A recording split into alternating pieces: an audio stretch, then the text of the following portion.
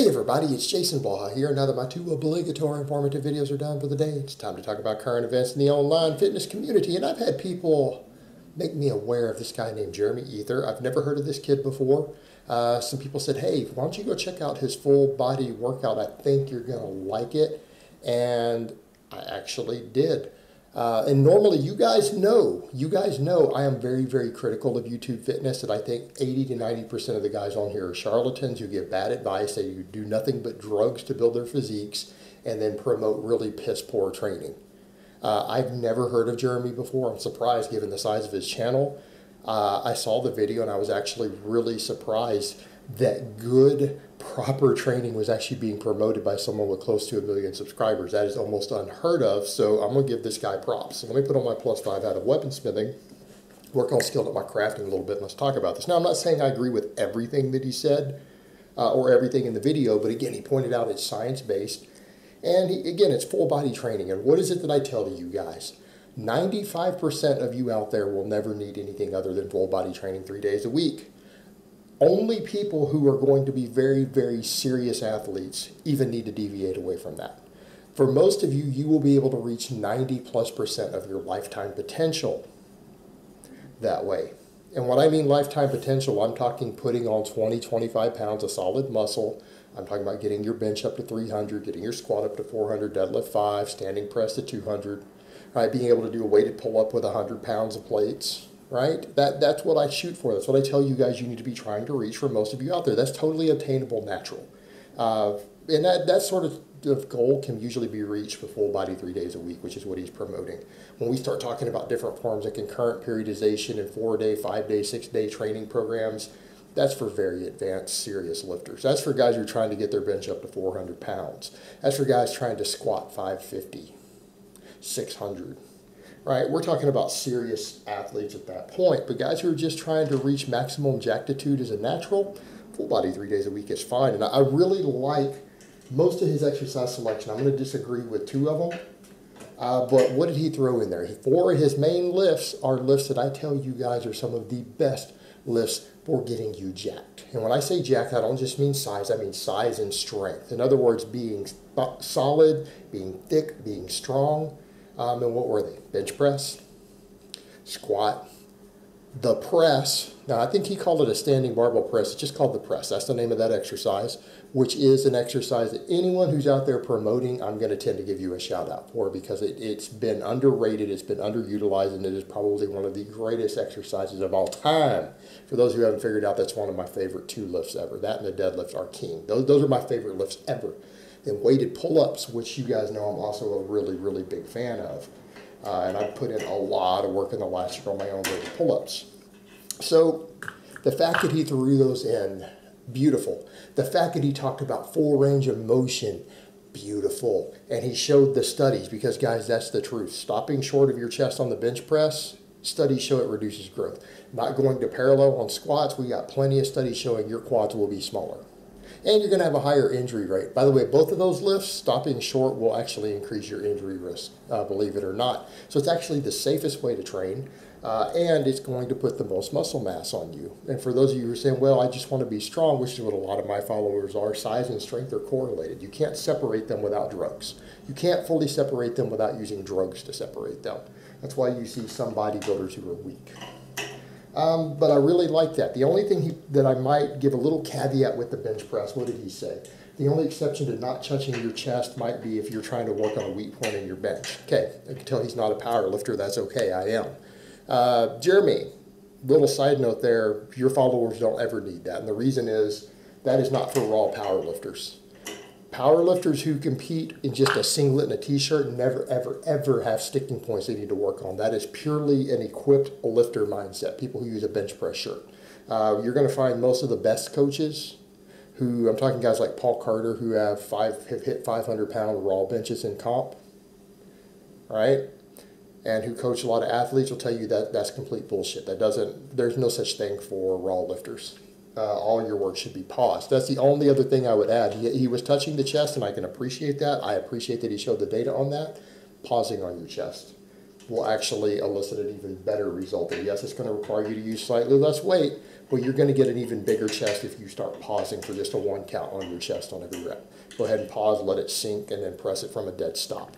Um, again, that's going to be better. Uh, so the only other caveat I would add there is that, but he promoted full range of motion bench press, and he even pointed out he started showing the studies on the chest and arms. And if you guys look further at some of those studies, you guys notice there's no tricep work thrown in. Why? A lot of people aren't aware of this, but multiple studies have shown that that if you add tricep extensions, if your bench press work is sufficient, your triceps don't actually grow from the tricep work. Again, people aren't aware of that, but the research is, is there. It's been studied, and as much as people might want to do a bunch of tricep extensions, they don't actually really seem to help when we measure the muscle growth. They don't seem to help for people who are already doing a lot of bench volume. And he looks, he's got you benching three or four sets, six to ten reps, and doing the press your triceps don't have any work capacity left anyways after those workouts. If he, if he actually has you do the press and the bench for three to four sets every time you're in the gym, your triceps are done. Now people who would say, well, what about the long head? The long head gets worked on the press. And it gets worked on the pull-up if you go all the way down.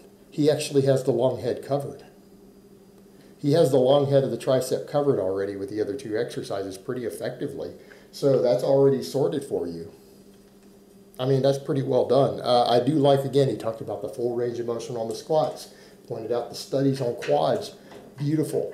And people are saying, well, the squat, is it just for quads? No, squat is, is again a full body exercise. If you go look at, again, the data that's out there, Brad, Dr. Brad, uh, Greg Nuckols, all these guys did some studies and they found that they could calculate a person's max squat purely with a DEXA scan and how much muscle you had on your body versus relative to your height. They could plug in a formula, and every single one of their people, when they ran through the formula that they studied, their max squat was within 10% of their estimate based on that calculation. So the, the amount that you can squat is directly correlated to the amount of muscle mass on your body. It, it doesn't just work the quads, guys. It works a lot of other muscles. And it makes you stronger overall. It improves neural efficiency, neuromuscular efficiency, which is going to make you stronger. All those other lifts over time, which is going to get you bigger. Uh, I love that he had the press in there.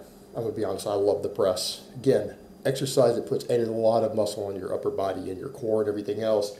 Weighted pull-ups, same thing. People will say, well, what about the upper chest? The upper chest is covered. He has the press and the weighted pull-up in there. Again, your upper chest development's fine. Even if it's a little lagging from the bench, those other two lifts hit it. They hit it. So, I mean, everything is being thoroughly worked. Some of the other stuff he threw in, um, the the laying leg curls, not really a fan. Uh, that's the one thing I'd be like, eh, I'm not wild about that. I'm really not. Why not throw another big compound in? Now he's probably going to have in workout B. Is he probably going to have some sort of deadlift or hip hinge? I imagine so. But if you're really wanting to develop hamstrings, you, you need a hip hinge anyways. You need some sort of hip hinge exercise. Those lying leg curls aren't going to hit everything that you want. Um, again, the hamstring is not just tied to the knee joint right? You do need movement of the hip joint. So I would say maybe he should have thrown in something like a Romanian deadlift or a good morning, because again, he talked about the need for eccentric based uh, hamstring work seems to be what helps with injury prevention. Yeah, then, then doing an eccentric based exercise, right? You could have something like good mornings, you could have something like Romanian deadlifts, but I suspect he's going to throw a conventional deadlift in, which if you guys look at a lot of the EMG studies, conventional deadlift actually hits the hamstrings harder as far as peak work goes than most other lifts, but it's going to be concentric based. Um, face pulls, he threw face pulls in. And he talked about, again, notice the grip he used on that. It's what I use, it's what I recommend. That pretty much well rounded the upper body. I mean, that finishes everything you need for the shoulders, shoulder health. Uh, again, he was actually performing the face pulls correctly. I'm going to give props for that because, again, face, you guys know I'm a fan of face pulls. Uh, only thing I didn't necessarily agree on was a drag curl, and the only reason is that, again, it's a smaller exercise. Uh, I do like that he talked about shoulder extension because, again, this is the silly stuff bodybuilders don't think about. You see all these bodybuilders, they talk about all these really strict curls, but the reality is, what's one of the functions of the bicep? The shoulder extension. It's not just at the elbow, which is why isolation movements are worthless. Isolation movements are stupid. They really are. They're stupid. And I'm glad that the only curl that he threw in there, he just wanted to work the bicep a little bit differently than the pull-up. And the pull-ups for most of you guys are going to develop your biceps just fine. But the only curl that he threw in, even though that might, wouldn't have been my choice, I would have said maybe a cheat curl where you come all the way up so you get shoulder extension. Uh, that would be what I would recommend if you're going to throw a curl in. But he still chose a curl that uses shoulder extension. I'll give props for that. I mean, that's not that not really not a bad choice.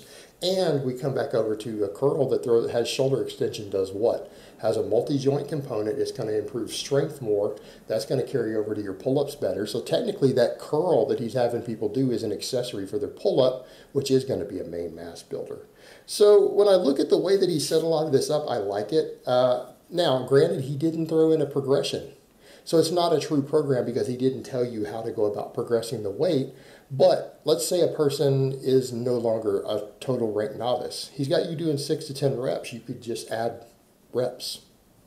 And when you get up to his prescribed reps, you could add weight, drop down to the six reps, and just build it from there in, a, in an undulating fashion, couldn't you? So, I mean, you could take what he's got as a template and very easily plug in your own programming. Uh, I'll be curious to see what he does with workout B because I really didn't like those those uh, dumbbell leg curls. I think that was really a fluff exercise. It's the only thing in there I didn't like, to be honest. The only thing in there I didn't like, I would have replaced it with a bigger movement. But if I were to look at this template and compare this to most of the stuff that you see people recommending out there for training programming, it's dramatically better than most of the workouts you see people putting up on YouTube Fitness. It's dramatically better. It's got at least four of my favorite, actually five with the face pulls. But as far as big movements go, we've got four of my top seven to eight exercises for just getting you big and strong. They're all in there. He discussed full range of motion. His exercise selection was balanced. It was good. Uh, I feel like for, for drug-free lifters, they could run this program more or less the way he has it and figure out their progression rates. And we'll see what he does with workout B, but I'm assuming it's going to be pretty good based on A. Um, but this is a good template to work with. I, I, think a lot of people could get really good results on this, probably better results than the majority of what I see people out there running, uh, the majority of what I see people out there selling, and he put it out for free. I can't hate on that. I can't hate on that. Um, overall, uh, I've never heard of this guy before. This is literally the only video of his I've seen. And normally I give fitness YouTubers a really hard time for being dumbasses and con men. He doesn't strike me that way at all. Uh, I think this guy probably, based upon this video, I think he probably knows what he's talking about. So again, I'm going to give credit where credit is due. All right, guys, but that's really all I have to say on that today. I hope it's been informative, and I will talk to you guys next time.